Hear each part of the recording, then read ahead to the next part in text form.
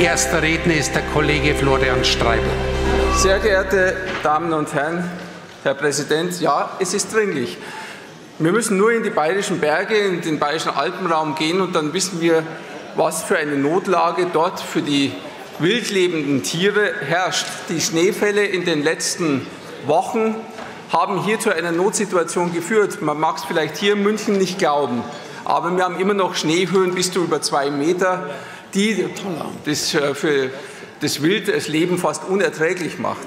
Und hier reden wir nicht nur von Gams, Rot, Rehwild, sondern auch von bedrohten Wildarten wie Steinwild, Auerwild, Birkwild, Schneehühner und äh, weitere Tierarten, die jetzt große Not leiden. Und wenn nicht gefüttert wird, wird es hier ganz äh, massive Einschnitte in, das, äh, in die Artenvielfalt hier auch in den Alpenraum geben. Und hier dürfen wir nicht wegschauen. Und die Notsituation wird immer stärker. Das äh, Wild drückt auch immer mehr jetzt von den Bergen herunter in besiedelte Gebiete. Es gibt auch schon Rehe, die man jetzt in den Dörfern gesehen hat.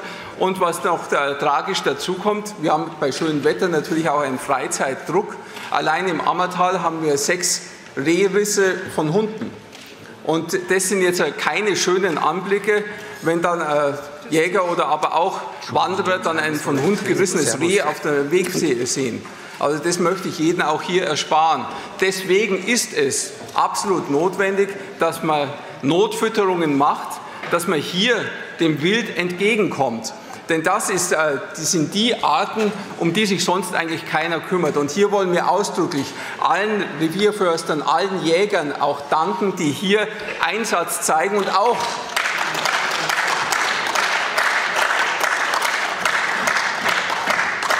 unter größten Mühen in unwegsames Gelände Futter für das notleidende Wild bringen. Und das ist jeden Respekt wert. Und das wollen wir auch hier zu dieser Stunde mal sagen. Und das ist dringlich, dass man auch hier sehr Dankeschön sagt für die, die sich um unsere Wildarten kümmern.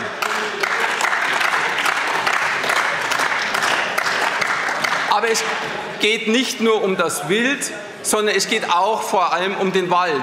Wenn das Wild kein Futter mehr findet, wenn Schneehöhen bis zu zwei Meter, wo gerade vielleicht von kleinen Bäumen noch die Wipfel rausschauen, das Verbissrisiko ist wesentlich höher wie in einem normalen Winter. Das Verbissrisiko und Schälrisiko an unserem Wald ist hier enorm gestiegen und um dem entgegenzuwirken, ist es gerade gefordert, dass hier auch gefüttert wird, damit das Verbiss wieder zurückgeht. Gerade also bei Leibtrieben wird man annehmen müssen, dass die also sehr stark verbissen werden.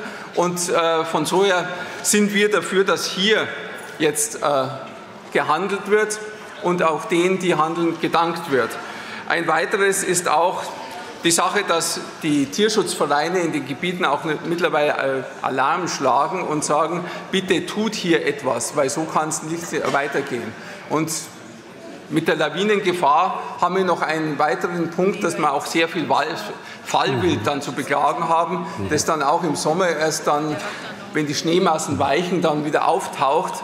Also das sind alles keine sehr schönen Sachen, die da passieren. Sehr geehrter Herr Abgeordneter Streibel, äh, Sie haben Ihre Redezeit äh, bereits eine halbe Minute überzogen. Ich darf Sie bitten, zum Schluss zu kommen. Gut, dann lege ich zehn Sekunden drauf und komme zum Schluss und bitte um Unterstützung für diesen Antrag.